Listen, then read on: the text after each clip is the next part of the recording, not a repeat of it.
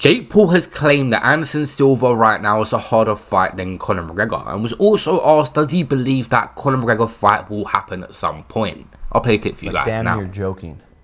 Damn near like, uh, and I kind of was, Yeah. but I was kind of serious, but I kind of was joking. I was like, this has probably never happened. And now, if Conor and I fought, like, that's to me an easier fight than Anderson Silva, and it's like, it's so realistic, it's so tangible, and like here we are, flat, you know, flash forward two years, and look what this has become. Um, Do you think that fight happens? You and Conor? I don't. Unfortunately, just because I think he'll see like what I do to Anderson, and he'll say like, "Why would I make this kid a hundred million dollars and lose to him?" And so he risk, can yeah, make a lot of risk so he can make his name off of me. And